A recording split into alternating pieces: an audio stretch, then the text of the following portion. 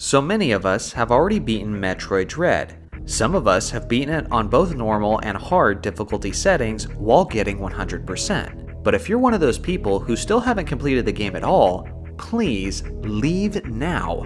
I don't care if it drops my audience retention, the Dread experience is simply one that you don't want spoiled. For those of you who are still here, congrats on beating the game, and for being more resilient than all the crying beta male journalists. Even though you've beat the game, there may have been some things you missed if you weren't paying very close attention. First off, at one point, there appears to be a familiar foe in the background. One of the more memorable bosses from the legendary Super Metroid game was Draygon. This nasty, flying green monstrosity has been pretty much completely absent from the Metroid series since its appearance on the Super Nintendo. But you might have missed a quick glimpse of Draygon in Metroid Dread.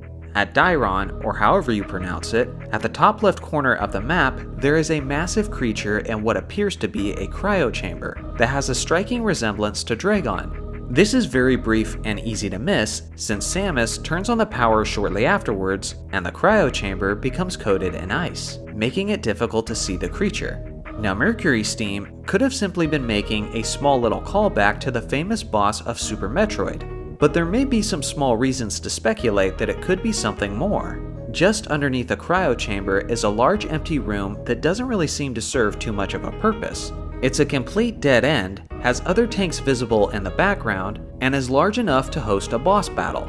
Which leads me to wonder is this possibly the location of a future DLC fight involving the famous Draygon? It's highly speculative and may amount to nothing, but it's cool little Easter eggs like this that make you start to wonder Second, the battle with Kraid is nearly identical to his original appearance in the NES version.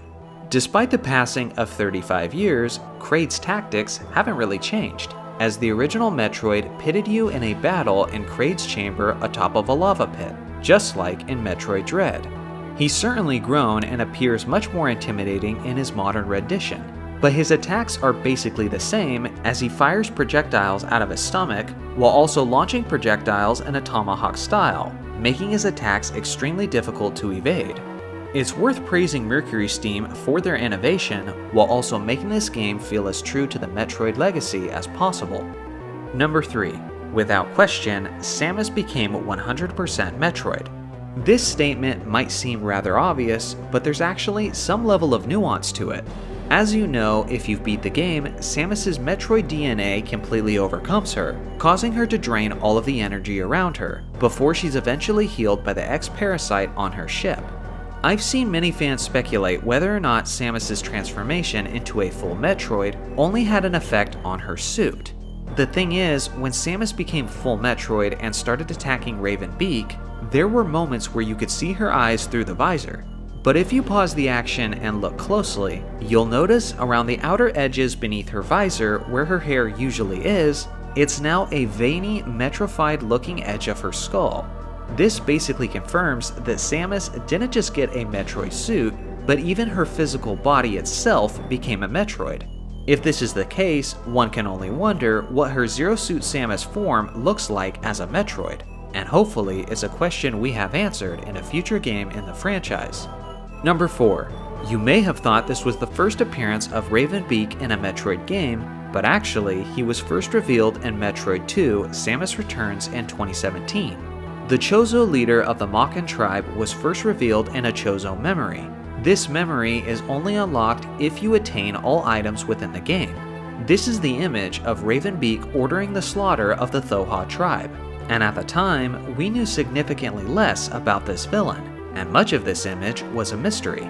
It's pretty cool to see how the developers were intentionally setting up the story of Metroid Dread much earlier than any of us had realized. Number 5. We actually witnessed the exact spot where Adam was no longer communicating with Samus, and instead it was Raven Beak disguised as Adam. At the end of the game, it's revealed that Raven Beak was posing as Samus's AI assistant Adam. But this wasn't the first instance where Raven Beak did this but it was actually much earlier before the gameplay even started. On the elevator, when Samus is first entering the depths of ZDR, Adam begins to lose signal and tells Samus that remote communication may be a problem. He advises her to try to connect to the facility's network before signing off and calling her lady as he always has.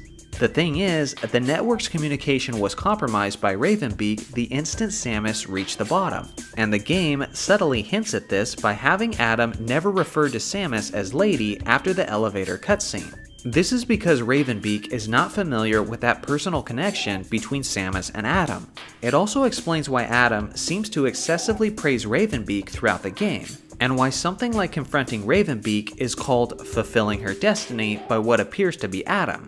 Because it was never Adam in the depths of ZDR, it was always Raven Beak speaking about himself. Number 6. The damaged tubes that require power bombs to break are actually a callback to one of Super Metroid's most memorable moments. Back in 1994 was when we first saw Samus use a power bomb to destroy a glass tube, which was necessary for her to enter the world of Maridia to progress through the game. Dread relives this moment multiple times towards the end of the game, as a power bomb is required to destroy similar glass tunnels. Thanks to this reoccurring theme, it was probably a lot easier for those of us who had already played Super Metroid to figure out this part in Metroid Dread. Number 7. The central units are actually an homage to the franchise's most iconic villain, Kids these days may think of Raven Beak as the ultimate villain of the Metroid series, but back in the day, it was the Space Pirates controller, Mother Brain.